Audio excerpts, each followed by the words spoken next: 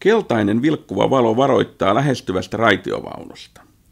Tällöin on tehostettava havainnointia, noudatettava erityistä varovaisuutta ja valmistauduttava pysähtymään.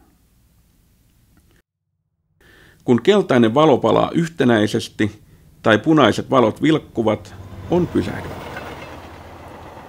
Raitiovaunun mentyä punaiset valot sammuvat ja keltainen valo vilkkuu hetken velvoittaen noudattamaan erityistä varovaisuutta. Lopulta keltainen vilkkuva valo sammuu ja liikenne jatkuu normaalisti.